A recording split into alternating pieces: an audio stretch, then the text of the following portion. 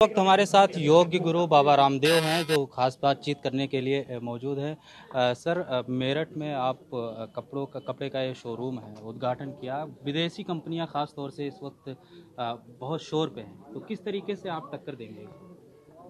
Lee Adidas Puma Superdry Zara जितने भी विदेशी कंपनियाँ हैं, उनसे दो से तीन गुना सस्ते दाम पर हम पतंजलि के प्रोडक्ट्स उपलब्ध करा रहे हैं।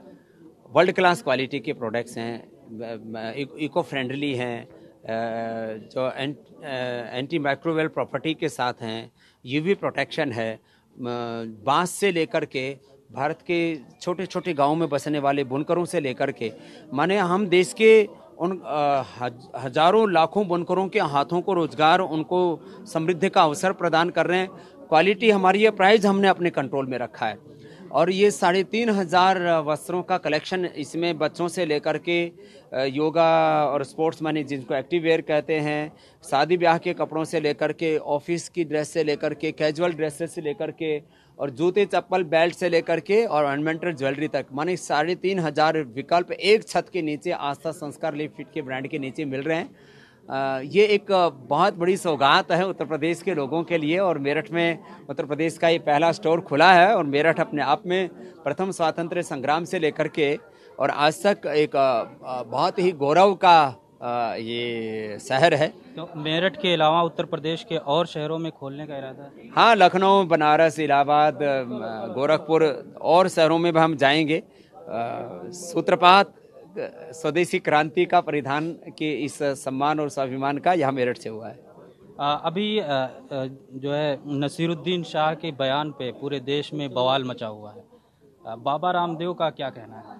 नसरुद्दीन साहब से यहाँ से शोहरत पाई यहाँ से दौलत पाई और उसके बाद देश को गाली देते हैं। ये देश के साथ धोखा और गद्दारी मैं मानता हूँ और जो देश के दुश्मन देश हैं आलोचक हैं उनको एक मौका मिलता है इस तरह के बयानों से।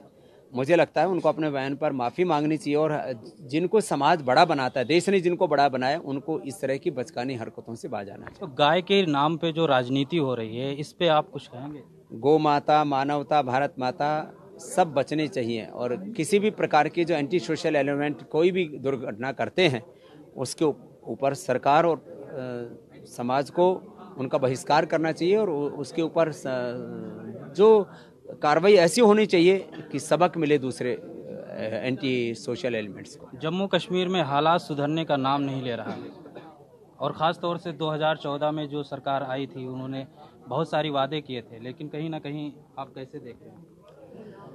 देखिए अब देश में समस्याएँ तो चारों तरफ़ मोबाइल खड़ी है। हम तो यही देख रहे हैं कि मोदी जी ने जो कहा है कि हम एक भारत श्रेष्ठ भारत दिव्य भव्य भारत न्यू इंडिया बनाएँगे। तो उम्मीद करते हैं कि पहले भी जो उन्होंने अभियान चलाया आतंकवादियों के खात्मे का उसके कुछ परिणाम तो आए आगे भी सरकार को सख्ती से कदम उठाने चाहिए।